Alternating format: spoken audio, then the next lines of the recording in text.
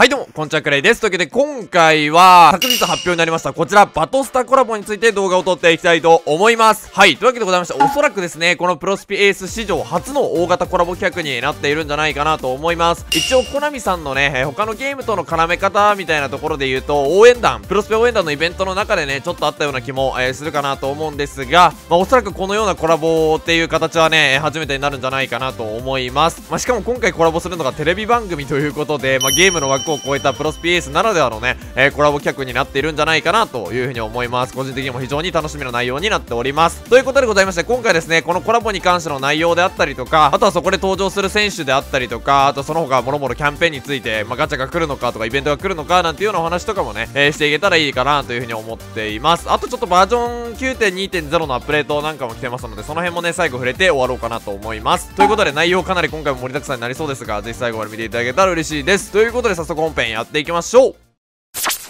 はい。というわけでございまして、早速ね、内容を見ていきたいと思うんですが、まず、プロ野球スピリッツエースと2020年1月4日土曜日14時より読売テレビ、日本テレビ系全国ネットで放送予定の大和ハウススペシャルプロ野球ナンバーワン決定戦バトルスタジアムとのコラボが決定と、えー、お知らせが出ておりました。で、そもそもこのバトルスタジアム、バトスタとはどんなものなのかっていう方向けにね、ちょっと説明が出ておりまして、こんな感じでございます。はい。えー、プロ野球12球団の選手が大阪城ホールに一堂に会し、様々な競技で競い合う、今年で35回目のイベント。出場するの各球団3名ずつ36名、まあ、パ・リーグからはこのラインナップ。セ・リーグからは、まあ、このラインナップということで、まあ、一部ラインナップが出ておりますよ。ということで、まあ、簡単に言うと本当に今年の球界を盛り上げたスター選手が勢ぞろいするイベントですよと、まあ、選手たちが運動会みたいな感じですかね、まあ、バトスタ見たことがある人はわかると思うんですが、まあ、プロ野球選手たちが、まあ、野球を絡めたものであったり絡めないものもねいくつかあったと思うんですけれども、まあ、選手たちがやる運動会の番組みたいな感じだと思ってもらうのがいいんじゃないかなと思います。ということでございましてそのコラボ内容をね見ていきたいと思うんですがままず1つ目がこちら。まあこれ簡単に言えばもうプロ野球選手がリアルタイム対戦で対戦しますよという企画でございます。でまあこの選手がやるリアタイっていうのはあのエキサイティングですね。エキサイティングプレイヤーになる選手がですねまあ春先に、え、やっていたかなと思うんですがそれが今回は別の球団の選手と、まあ、こんな感じでね対戦するみたいです。まあ、このパターンって多分今までなかったと思うので、え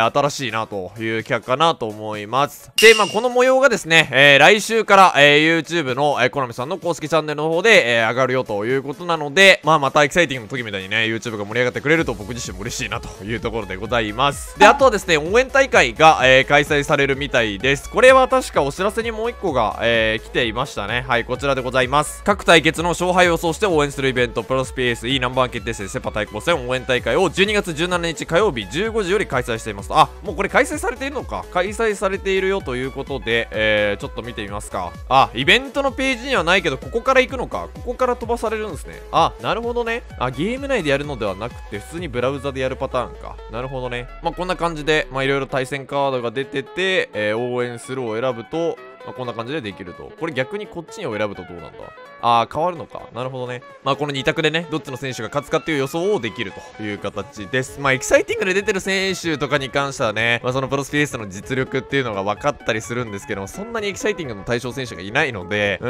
まあ、これに関しては本当に未知数かなと、なかなか予想できる部分がないかなっていうふうには思うんですが、まあ、これを的中させればエナジーももらえるし、ただ応援するだけでもエナジーもらえますよということで、非常に、えー、いいイベントになっているのかなと思います。これ応募締め切りはいつまでなんだ？あ、12月の23日か。ということで、6日間の開催ですね。なので、えー、今のうちに、えー、早いうちにやっておきましょうね、というところでございます。続ましてコラボ内容2つ目が、データ放送ゲームの実施ですね。はい。これは非常に面白い企画だなと思います。2020年1月4日土曜日より、えー、読売テレビ、日本テレビ系全国ネットで放送予定のバトルスタジアムにて、お年玉企画としてデータ放送を使った野球ゲームを実施しますと。お年玉企画にご参加いただくと、出場選手のサイン入りボールや現金1万円が当たるほか、番組放送中に皆様の獲得ポイント数が100万ポイントを達成すると S ランクバトルスタジアム契約書をプレゼントということで、まあ、さっきのね、えー、この選手たちの中からランダムかな？おそらくランダムだとは思うんですが、えー、誰かしら1人がもらえる素晴らしい契約書がもらえるよというところです。でこのゲームの内容がですねバトスタの公式サイトで見れるようになっていて、えー、こんな感じでございます。はい。まあ、このお知らせに書いてあるのがタイミングよくボールを打ち得点やポイントを獲得していく野球ゲームと条件をクリアすると豪華プレゼントに応募できるようになります。全国の視聴者と獲得ポイントをランキングで競えたり高記録を残すとヒット王やホームラン王に選ばれることも。出場選手の中から好きな選手を選んで挑戦してみましょうと。あとは番組後半にはポイントが2倍になるボーナスタイムもあるみたいなんで、まあおそらく100万は多分いけるラインだと思って決めてるんじゃないかなとは思うんですが、ただこのデータ放送に関してはね、そのリアルタイムでしっかりこの番組を見てないとできないものになりますし、まあ一応年末年始のね、その、お休みの期間なので、まあしかも土曜日だし、まあ大丈夫かなと思うんですが、結構ここはリアルタイムで見ないとダメかなっていう風な感じかなと思います。で、その100万ポイント達成すると、エバトスタの S ランク契約書がもらえるよと、あとは抽選で36人にサイン入りボール、100人にお年玉1万円かな。が、えー、もらえるよという形になっています。で、最後ですね、3つ目なんですけれども、これね、しれっと書いてあるんですが、近日公開予定発表お楽しみにということで、まあ、カミングスーン状態でございますと。で、これに関してはね、まあ、あくまで予測でしかないんですけれども、おそらくこの選手たちが登場するガチャもしくはイベントなんじゃないかなとは思います。まあ、ここまで引っ張るっていうことは、まあ、そのタイミング、えー、来たるタイミングでガチャがバーンって来たりとか、イベントがバーンって来たりっていうパターンになりそうかなっていうイメージではございます。まあ、ただこれもあくまで予想なので、本当になんか違ううパターンで全然違う形で、えー、来る可能性もあるかなと思うんですが、ただまあおそらくこの選手たちだけかな、えー、36人が一応バトスタには登場するみたいなんですけれども、ゲームの中で登場するのはおそらくこの12人になるんじゃないかなというふうに思います。で、もし仮にガチャが来たらですね、おそらくですが、エキサイティングとかアニバーサリーみたいな同等のシステムになる可能性が高いんじゃないかなと思います。30連で1人確定、60連で、えー、自チームの選手が確定っていう形になりそうな気が個人的にはしているので、まあ、どうしても惜しい選手がね、この対象選手の中にいるという方に関しては、まあ、まずはエナジーをね、しっかり貯めることが必須にはなってくるのかなと思います。という点でもね、ちょっと正月福袋に関しては、まあ無理して回すタイミングではないかな。もう正月福袋間違いなく絶対熱い内容で来るとは思うんですが、まあこの内容も含めてね、ちょっといろいろ考えていただけるといいのかなというふうに思います。でですね、ここから登場する選手のお話をしていきたいと思うんですが、まあ、もし来るならガチャであったりとか、あとは契約書の部分でも気になってくるのはやっぱりスピリッツかなと思います。これが3200、今のシリーズ2と同等なのか、もしくはベストナインタイトルホルダー、ないしは侍ジャパンでおそらく登場するだろう3300になって登場するのかっていうところ、ここ本当にね、大きな分かれ目になるかなと思います。まあ、個人的には今のオーダー状況であったりとか、まあ、先々長く使えるっていうことを考えると、やっぱり3300の方が激アツかなというふうには思うんですが、まあ、ただこのタイミングってまだ多分ベストナインタイトルホルダーとかも登場する前なので、そこのタイミングで3200、3300かっていうところは結構際どいラインかなというふうには思っています。はい、というわけでございまして、各球団ちょっと1人ずつ見ていきたいたいと思うんですが、まずは西武平井選手ですね。この平井選手に関してはね、エキサイティングでも登場していたと思うんですけれども、まあ、今回が2度目のね、えー、動画登場、そして、まあ、特別レアリティ登場という形になるのかなと思います。で、能力に関してはね、まあ、もしかしたらプラス1になるのかな ?79、69、69みたいな、まあ、エキサイティングアニバーサリー同等のそのプラス1査定っていうような、えー、形になる可能性もあるかなというふうには思っています。あとは特殊能力ですよね。うん、ここに関してはもしかしたら変わってくる。3つ目に何かしらのね、特殊能力が入ってくる可能性はあるのかなというふうには思っています。続きましてソフトバンクが松田選手ですね。松田選手はシリーズ2はこちら、はい、えー、こんな感じでございまして、まあ、もし能力がプラス1されるとすると75、82、69というね、えー、能力になってくるのかなというところです。まあ、この松田選手も相変わらず能力高いのでね、まあ、今回のラインナップの中でも間違いなく目玉になってくるのかなというふうには思います。続きまして楽天、オコエ選手なんですけれども、オコエ選手はですね、残念ながら SA、B、C、D 全てにおいてこのシリーズ2まだ出ていないんですですよね。なのでちょっと能力が完全にわからないんですが、一応シリーズ1は確か出てたと思うので、そこを参考にすると、はい、こちらですね。シリーズ1の能力はこんな感じでした。センター B、ラインドライブ、58、67、77という能力です。まあ、おそらくこの同等の能力がちょっと下がった能力になりそうなんじゃないかなと個人的には予想をしています。続きまして、ロッテが井上聖也選手でございます。井上選手はですね、S ランクはまだ出ていないんですが、こちら、はい、A ランクの能力は出てましたね。なので、まあ、らくここからプラス10、もしくはプラス11という形になるのかなっていう感じです。もしプラス11で出てくればね、パワーは A に乗りそうなので、まあ、そこは熱いかなと思います。で、まあ、過去アニバーサリーでも登場している選手なので、持っていて継承したいぞ、なんていう方もね、いるんじゃないかなと思います。続きまして、日本ハムが渡辺選手ですね。はい、この渡辺選手に関しては、シリーズ2でね、能力上がってきましたけれども、ここからまあ、プラス1されるとすると、66、71、74というね、えー、能力になるのかなと思います。はい。まあ、走力型っていうところはね、ちょっと辛いところでありますが、一応同時が狙えたりとか、あとはまあ今後能力がね、上がる可能性は非常にあるかなと思いますので、まあ今後いいのかなというところです。続きまして、オリックス吉山貞選手ですね。まあここもね、エキサイティングで登場した選手ではございますが、まあここももう目玉になるでしょうね。うん、間違いなく目玉に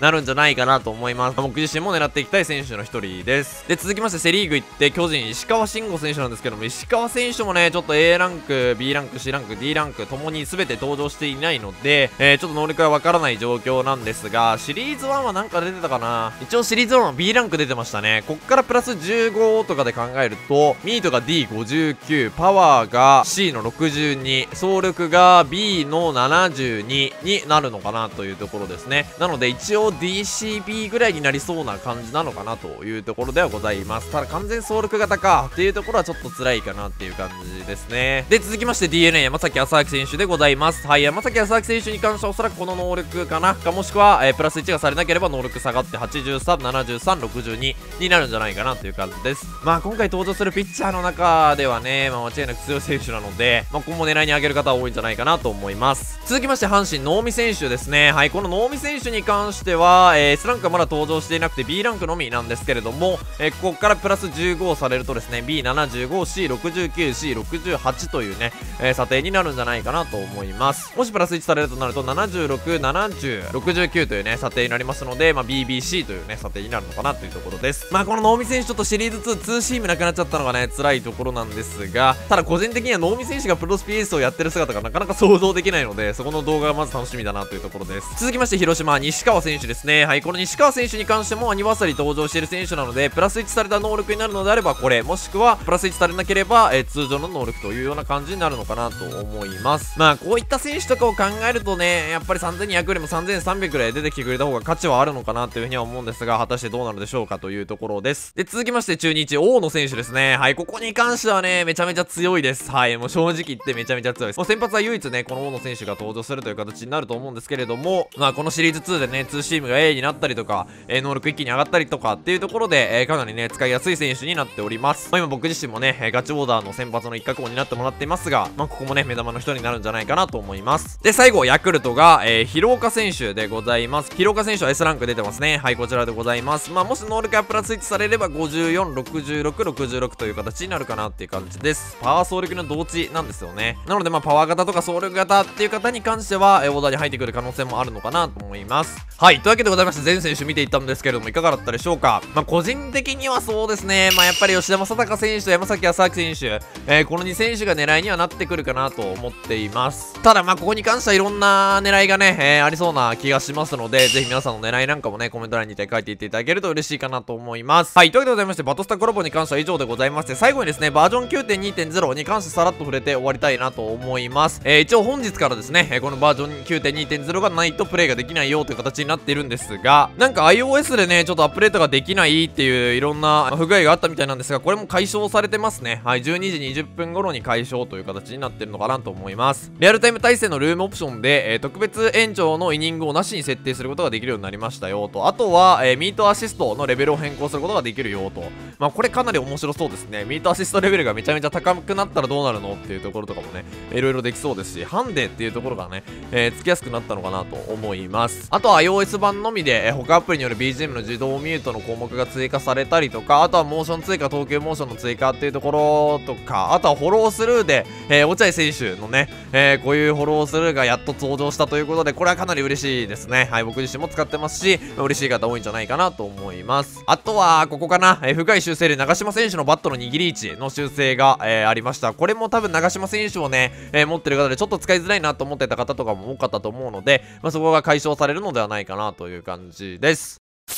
はい。というわけでございまして、今回はですね、昨日公開になりましたバトスタコラボ、そしてバージョン9.2.0アップデートについてのね、内容を触れていったんですけども、いかがだったでしょうか？まあ、このバトスタコラボに関してはね、まあ、プロスピエースというゲームだけではなくて、いろんなゲームを見てもなかなかないコラボの形だと思うので、個人的にも非常に楽しみですし、まあ、これからもこんなコラボがね、ガンガン続いていってほしいなーなんていうふうにも思いつつね、まずはこのコラボをね、楽しみにしていきたいなと思います。ということで、今回もご視聴いただきありがとうございました。ぜひともこの動画良ければ、高評価、チャンネル登録、そして Twitter のフォローよろしくお願いいたします。まあ、先ほども言いましたが、ぜひ皆さんのね、このバトスタの選手の中での狙い等々もね、コメント欄にて書いていただければ嬉しいです。それではまた次回の動画でお会いいたしましょう。ありがとうございました。